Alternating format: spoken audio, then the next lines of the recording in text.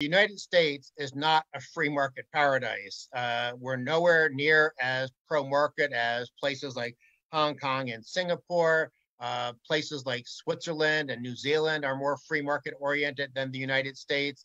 Uh, now, that being said, we do tend to have more economic freedom than a lot of countries in Europe.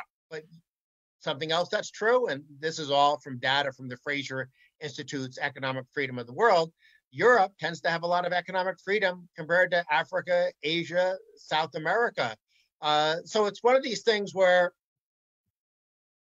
there's an absolute measure of economic liberty, and then there's a relative measure of economic liberty. On absolute measures of economic liberty, I think there's a lot to criticize in the United States. There's even more to criticize in Europe.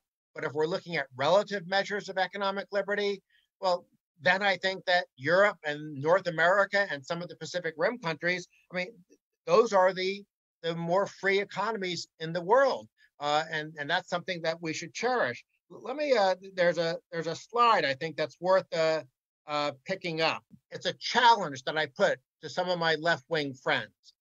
I asked them to name a country at any point in history that has ever become rich with big government. Or for that matter, I asked them to name a country with big government that grows faster than a similar country with small government. And they can never give me answers to those questions. I mean, are, are there countries that are relatively rich with big governments? Yes. The US has a government that's too big. France has a government that's far too big. But guess what? Both the United States and France, and for that matter, Germany and other countries, we all became rich in the 1800s and early 1900s when government was very small, when there weren't even things like income taxes. Uh, so, so you can become a rich country and then adopt a big government, and then you'll start growing a lot slower. But one thing I say when I'm speaking around the world, especially in transition economies and developing economies, I say you have to get the order right. Use free markets and small government to become rich. And then if you want to make the mistake, of adopting a big government and growing slower, well, at least you became a rich country first. But again, no country anywhere in the world, nobody has ever answered this question to me successfully or effectively. You cannot point to a single country in the world that got rich with big government, high taxes, lots of regulation. It's always free markets and limited government that generate prosperity. And then politicians figure out how they can grab a lot of the, the wealth that's being created and they create big welfare states that cause less growth. What about the idea that many young people and many, Americans have about Sweden being this paradise of social welfare where uh, uh, everything is free, all, all public services are free, uh, going to university is free, healthcare is free, and everything works perfectly? Well, if you look at the economic freedom of the world from the Fraser Institute that I just discussed, Sweden relatively speaking, is one of the most free market economies in the world. Uh, there, there are five major things that, that go into measures of economic freedom things like monetary policy, rule of law, trade policy, regulation.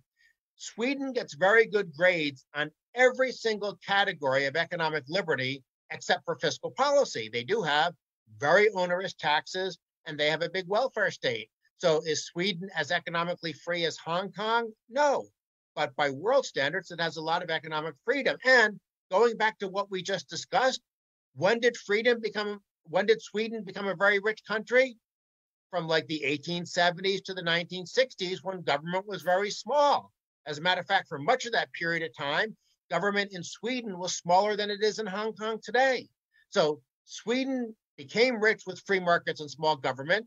It then adopted a welfare state. It's now growing slower but because it's being very free market oriented in other policy areas other than fiscal policy, it's still doing, you know, doing well. I mean, I wouldn't say doing great, but it's doing well by world standards.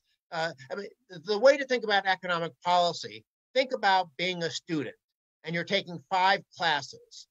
You're, taking a language class, a science class, a history, you know, you're taking all these five classes you obviously want to get very good grades in all five classes. But if you get very good grades in four classes and then get a uh, not so good grade in your fifth class, you're still doing okay as a student. And, and that's that's really a sort of a a, a metaphor for how Sweden is doing in the global economy.